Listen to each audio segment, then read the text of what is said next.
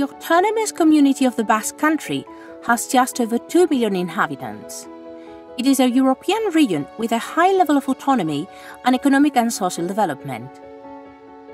Largely as a result of the demands of the feminist or women's movement, public equality policies were initiated in the Basque Country in 1988 with the creation of the Basque Women's Institute, known as Emakunde. During the 1990s, it was established that one of the major obstacles to further progress on equality was the lack of specific legislation that could give equality policies a mandatory, legally binding character. In response to this problem, Emakunde promoted and led a process to create a law of gender equality. After a period of consultation with civil society, and following an important process of discussion and negotiation with the public administrations involved, and with the various political groups, on the 18th of February 2005, the Basque Parliament, with a large majority, approved its first law of equality. The first effect of which was that after the elections that year, for the first time in the history of the country, there was a greater number of women than men parliamentarians. Quiero decirles que es para mí un honor, un privilegio, en nombre de este Gobierno, presentar aquí la que sin duda es para mí la ley más importante que seguramente puede aprobar este Parlamento a lo largo de sus 25 años de existencia que próximamente vayamos a celebrar.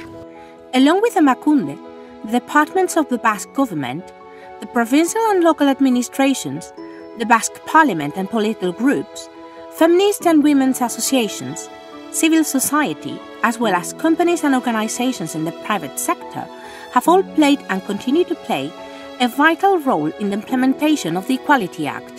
Balioko du, eh, hainbat eh, herritarrek erakunde desberdinetatik, instituzioetatik egindako eh, lan guztia berdintasunaren alde.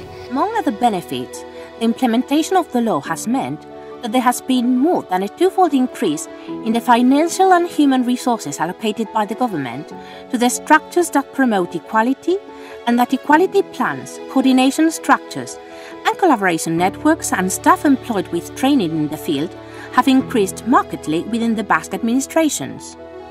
The number of companies and private organizations with awards for their commitment and work for equality has also increased exponentially. The main beneficiaries of the existence of the law and its application have been women and, in particular, those most affected by inequality. Although the law benefits all citizens, gender equality being a question of human rights and a key factor for good governance and people's social and economic development. The law has also led to more gender sensitive public services, with the use of inclusive and non sexist language the incorporation and use of the gender variable in statistics, the adoption of rules with gender impact assessments and equality measures, the inclusion of equality clauses in contracts and grants, the creation of services and resources for women at risk of exclusion, victims of violence, etc., becoming widespread within a major part of the public administrations. The 10 year period since the implementation of the law have made clear its economic, political, institutional, and social sustainability. It has also demonstrated that the experiment carried out in the Basque Country can be transferred to other administrative levels, countries, and regions, adapting it to their own specificities. Equality Act and its implementation have meant an unquestionable advance on the road to the equality of women and men, and the resulting progress achieved is an incentive to continue along the still long road towards equality. Debemos de eh, consolidar y blindar los logros alcanzados porque el riesgo de retroceso está ahí. También eh, debemos de eh, localizar eh, nuevas herramientas, herramientas innovadoras que nos permitan eh, hacer frente a las resistencias al cambio.